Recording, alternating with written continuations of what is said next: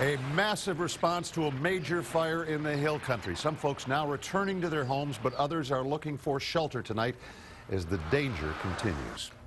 Thanks for watching. I'm David Scott. High winds across central Texas fueling two big wildfires today. They sparked up on opposite ends of our viewing area, one in Bastrop County near the state park there. The other, more dangerous fire in some subdivisions outside of Burnet. Let's start with that big fire in Burnet first. It took out at least 280 acres. It sent dozens of people scrambling from their homes. Two firefighters have suffered minor injuries.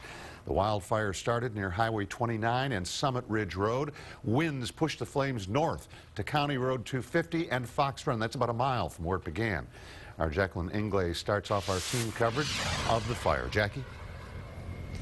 David, I'm at the command post on the north side of this fire. This area right here is sort of the heart of the operation. Any brush truck or fire truck that goes in to fight the fire or comes out has to stop here to check in. Now, we have more than 18 fire crews from three counties. Most of them have been out here since 2 o'clock this afternoon fighting this fire.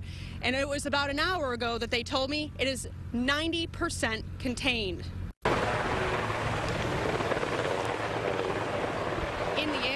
Ground, dozens of firefighters, mostly volunteers, are working to put out more than a 280-acre brush fire.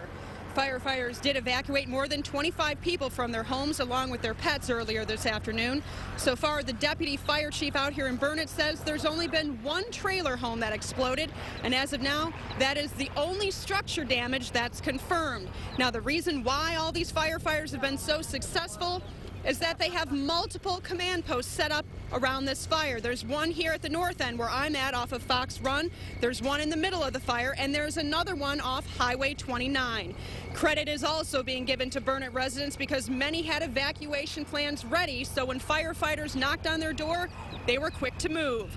What obviously posted the posed the biggest threat to firefighters out here today was winds moving from the south, and those are still threatening to push this fire further north into Burnet County. We've been very concerned with the wind. It's obviously pushed the fire all day on us. Uh, we were finally able to get in front of it and be able to put a pretty good attack on it. So we think at this point we've got it about 90% contained. Now, Krista Bromley, the spokesperson for the city of Burnet, says two firefighters did suffer minor injuries. Now, the deputy fire chief says that's a pretty remarkable number considering how hot it was today and how thick the smoke got. With the heat outside and, and whatnot today, we were very concerned, but we've had a really good rehab program uh, in effect, and everybody's taken care of.